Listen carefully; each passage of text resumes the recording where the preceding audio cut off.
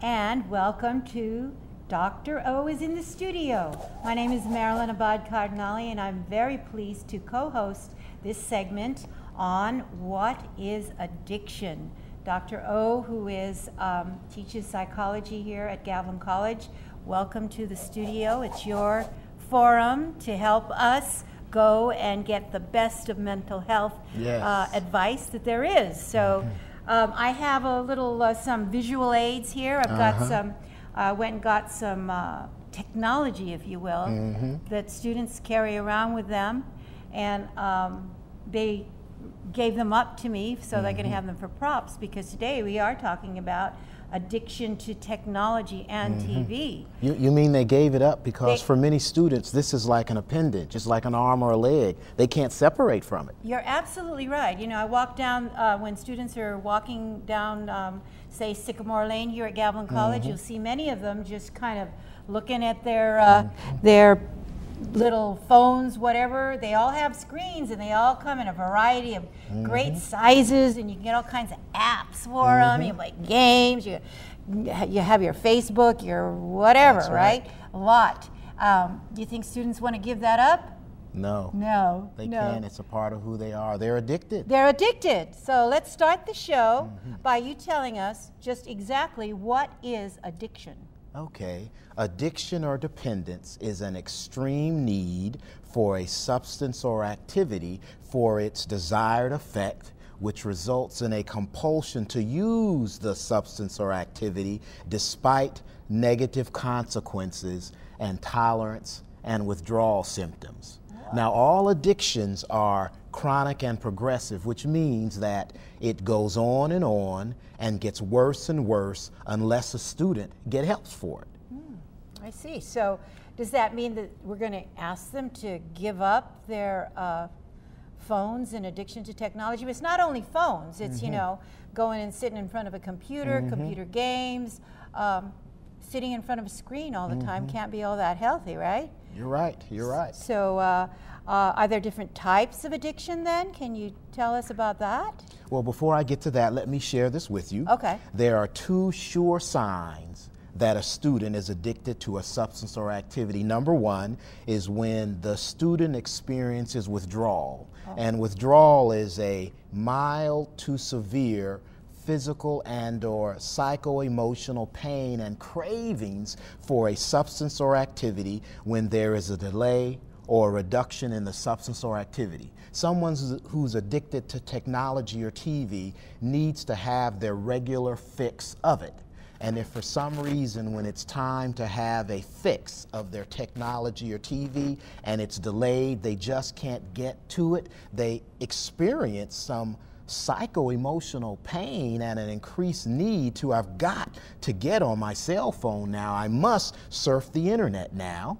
And then a second sure sign that a student is addicted to technology is when she or he experiences tolerance. And tolerance is the need for greater and greater amounts of the substance or activity to achieve the desired feeling or to prevent withdrawal symptoms. Now, usually tolerance occurs when a student depends more and more on that substance or activity for relief or escape from depression, from tension, from anxiety, from stress, from insecurities, from loneliness, from emptiness, from life's challenges or problems in general. And the more a student flees to their technology or TV for relief of these, the more they need more technology and TV to get relief, and it becomes a cyclical thing. I see, I see. So um, that's how we get addicted to these things. Then you know they're there. They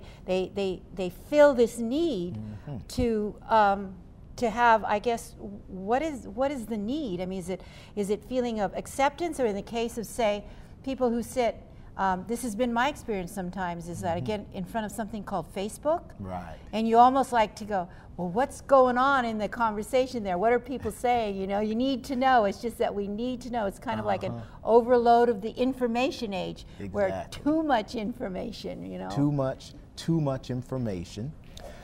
I must share that addiction is a time sucker, academic obstructor, mind messer upper, and health disruptor, especially substances. Addiction is also a relationship corrupter, especially if you're looking at pornography and TV. Addictions are also a financial abductor, especially the purchase of technology and uh, of video games and gambling, gambling and materialism. Oh, gambling. That's true, huh? Financial abductor. There you go. The kids are, are kids, not only students. I think mm-hmm. people out there have figured out how to gamble online and you just, mm-hmm. you don't know. You're just kind of clicking away and then before you know it, you're millions in debt, so to mm-hmm. speak. It's easy to get, and maybe that's part of the addiction in terms of technology. It's pretty easy to access it because there's an app for that, an app for this, and it only costs 99 cents. But if you have a 100 apps, that's a $100, and then, oh my God, And now on you're on. on the technology addiction treadmill. Ah, right. You want more. and more and more and more. And you are never satisfied. That's the whole idea behind addiction. You're never satisfied, so you continue to be trapped in it. Wow, never sat, never fulfilled. Never. Whatever that emptiness is, is it an empty hole that people might feel in terms of, um, I don't know, it's, it's just like sometimes um, it's good to be connected because you know what's going on, but if it's too much, because what do you, you stop doing your, what's required in your everyday life? Is that The, what the happens? things that are most important get pushed to the back burner Okay. for the addiction to the technology or the TV. Interesting, interesting. Okay. So then, are there different types of addictions then? Yes, there are two types of addictions. They are called substance addictions Okay. and activity addictions. And substance addictions are being hooked on or controlled by alcohol, tobacco, marijuana, methamphetamine, caffeinated beverages such as coffee and energy drinks, which are a very common addiction that many are ignoring. Uh, other types of substance addictions are addictions to sugar, addictions to food, another major addiction contributing to this obesity epidemic in this country because so many are living to eat rather than eating to live. Other substance addictions are prescription and over the counter medicines, and the list goes on and on. Yes. But then you have the activity addictions. The activity addictions are being hooked on or controlled by such things as Facebook, MySpace, Twitter, YouTube, TV, texting, emailing, iPods, video games, pornography, masturbation, sex, chat rooms, eBay, gambling, materialism. Materialism, we know, is an obsessional desire for more and more and better and better things. These are activity addictions. These are things that we don't ingest through our mouth orally or veins intravenously or through our nose nasally. We ingest them by looking at them, by interacting with them, and they're just as destructive as substances that we put in our body directly. Now, students addicted to substance or, or activities no longer reach for the substance or activity, but the substance or activity grabs them. In other words, the substance or activity controls you. You don't control it. And oftentimes, the students have to get this point. This is so important when students are addicted, mm-hmm. they're not addicted per se to the substance or to Facebook or MySpace or Twitter or YouTube or TV. They're not addicted to it literally. What they are addicted to are the feelings that the substance or activity creates, such as excitement or pleasure or some other desirable feeling, or they're addicted to the feelings that the substance or activity reduces, such as tension, stress, or some other undesirable feeling.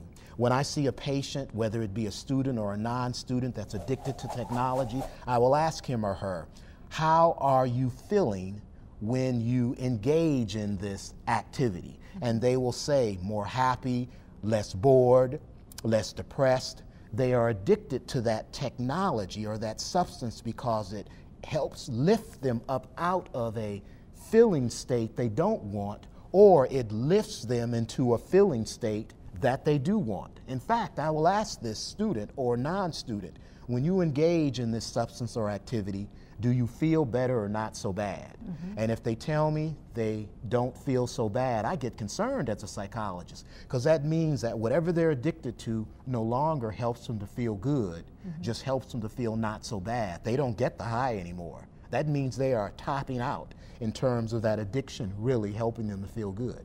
Wow, see. I mean, I guess as, as you're saying, um, describing all of these things, I can think of all the things that I'm addicted mm-hmm. to. Uh, we or, all can. okay. Um, well, tell us about technology addiction and some of the problems that it causes for students. Okay, first of all, there is nothing wrong inherently with technology. Right. We need to make that clear. It, nothing wrong with it. Technology be, can be used responsibly for the good of self and others, mm-hmm. or technology can be used irresponsibly for the not so good and detriment of self and others. And as I mentioned earlier, with any addiction, any substance or activity, you must control it. It must not control you. And for students addicted to technology, technology is number one, a time sucker. Mm-hmm. It's a time sucker because they spend inordinate amount of times surfing the internet mm-hmm. or inordinate amount of times on Facebook, on MySpace, on Twitter, or they spend too much time on their cell phones texting or talking or playing video games. Their addiction just consumes so much of their time mm-hmm. that they neglect more important things such as studying, mm-hmm. getting the rest they need, or exercising or socializing. And of course, when they neglect studying, it ends up being a academic obstructor. Mm-hmm. If they neglect sleep and exercise, it ends up being a health disruptor. And if they neglect socializing, it ends up being a relationship corruptor. That's one of the problems that it causes for students who are addicted to technology. A second cause or problem for students it can cause is Students often use technology as an escape from things that need to get done, such as that all important thing for college and school called studying. Mm-hmm.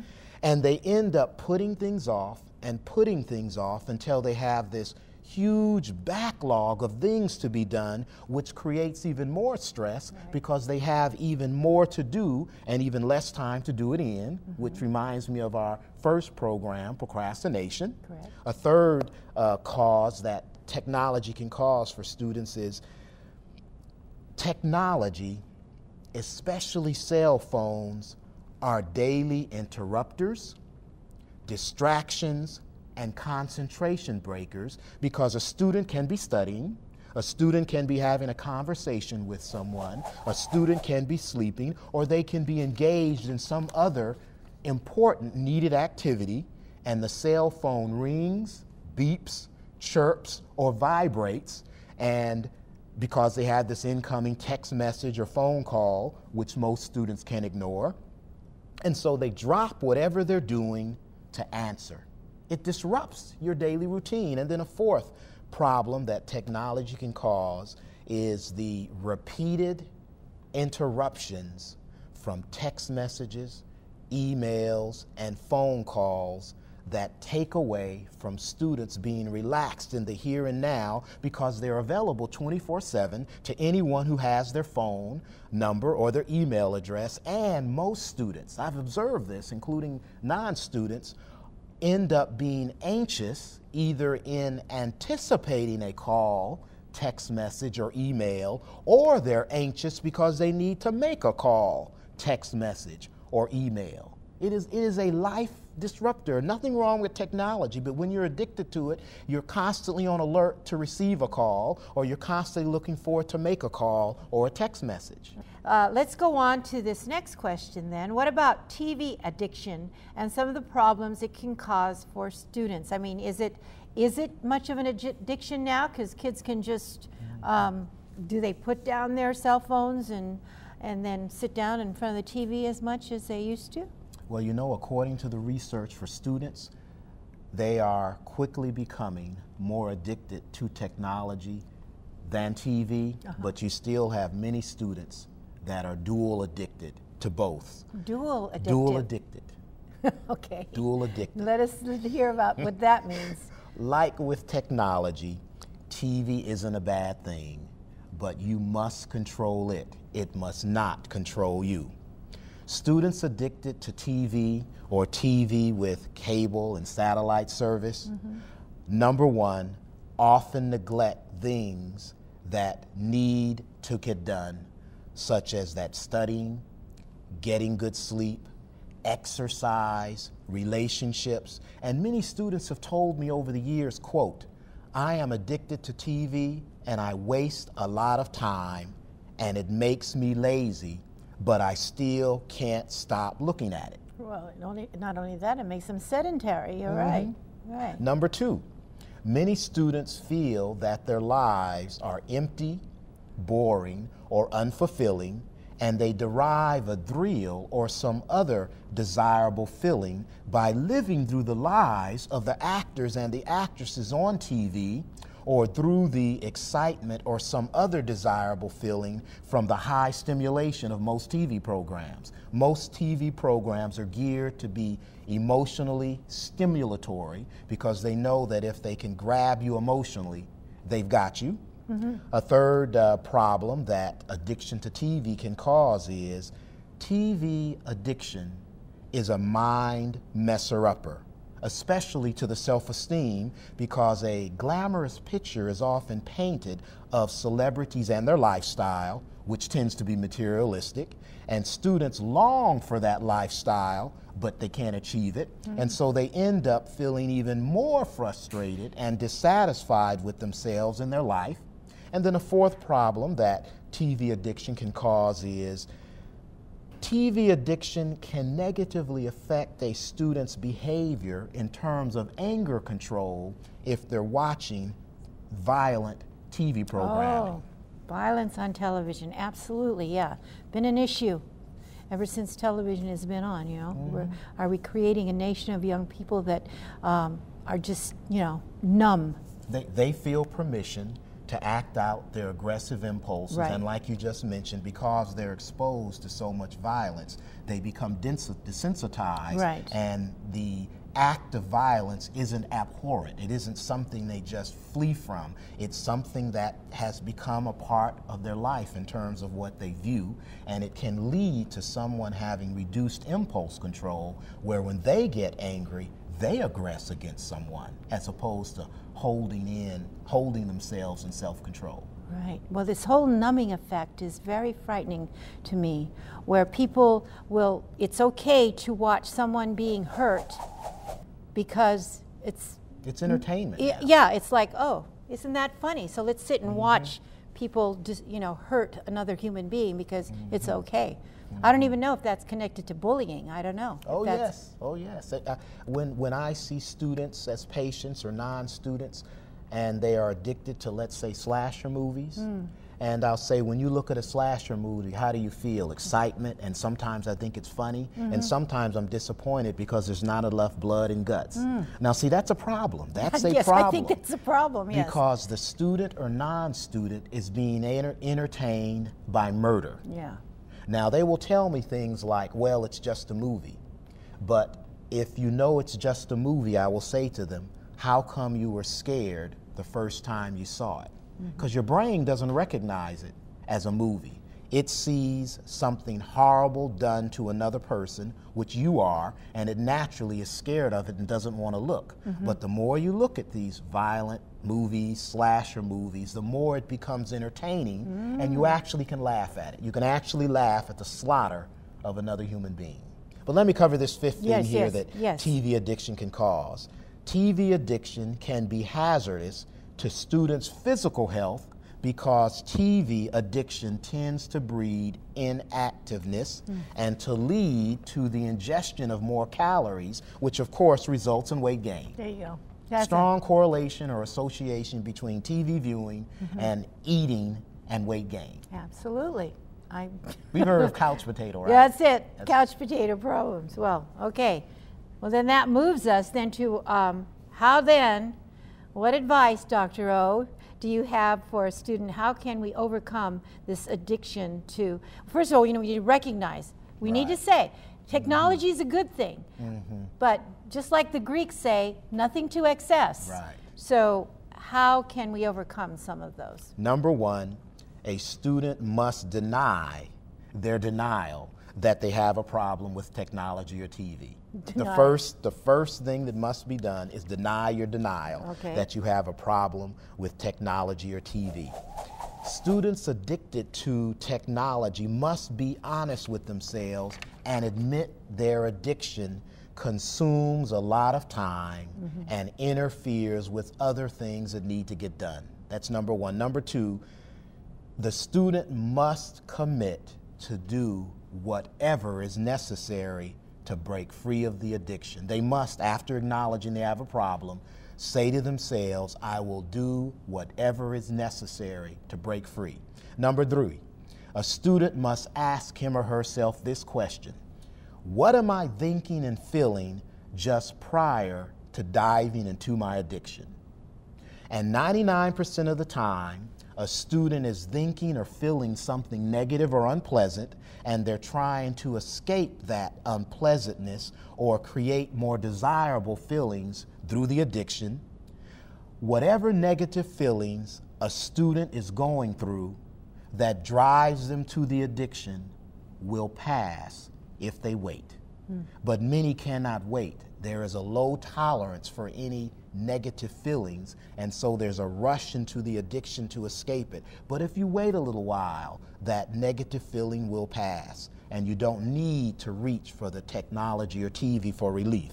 A fourth thing to overcome addiction to technology and TV is a student must choose to do the right thing in the vulnerable moment. That is, instead of giving in to the addiction, read a challenging book, go for a walk, or this thing which is becoming rare, study.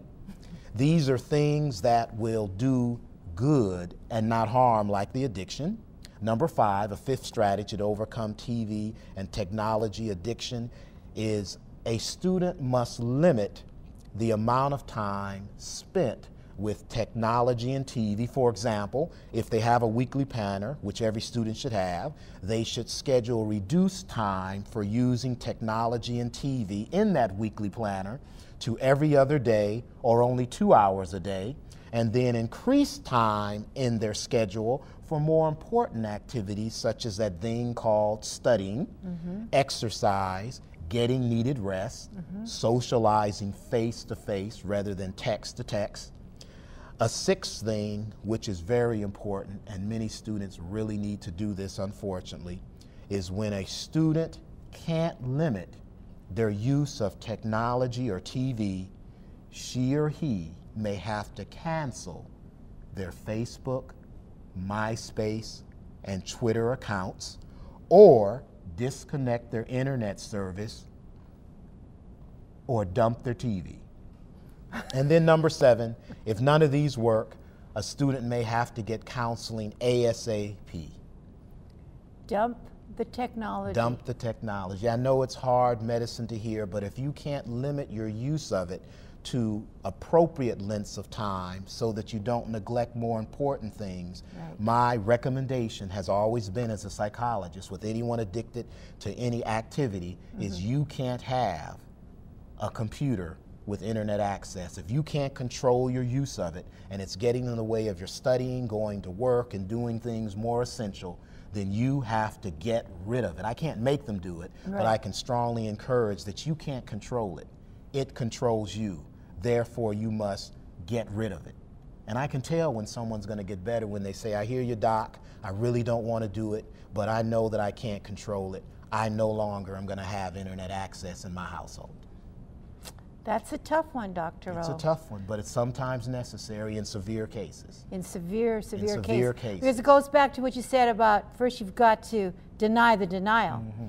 I'm sure there's people out there that are listening. It's not me, you know, but it's you. It's you. it's not me.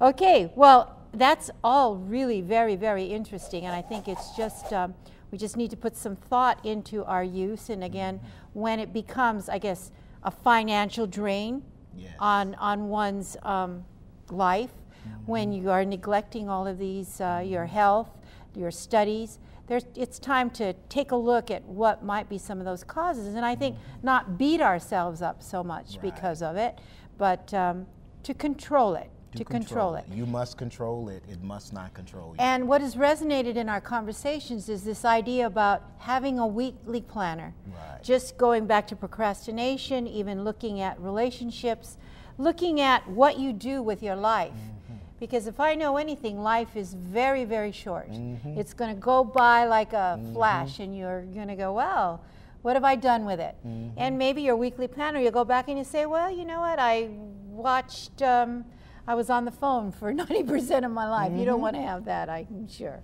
Well, do you have any final thoughts about overcoming addiction to technology and TV? Yes, I do. If you're a student and you know you're addicted to technology or TV, or anything for that matter, get help now because your addiction will only get worse until it drags you down, drags your life down, and drags down those who care about you because they are affected by your addiction. Well, they're ignored. Mm-hmm. They're neglected. they're neglected. They're low priority. That's right.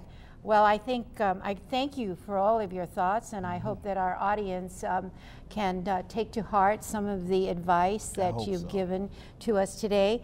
I would like to thank our audience for watching, and I also would like to thank the students that are here mm-hmm. taping us for this television mm-hmm. program.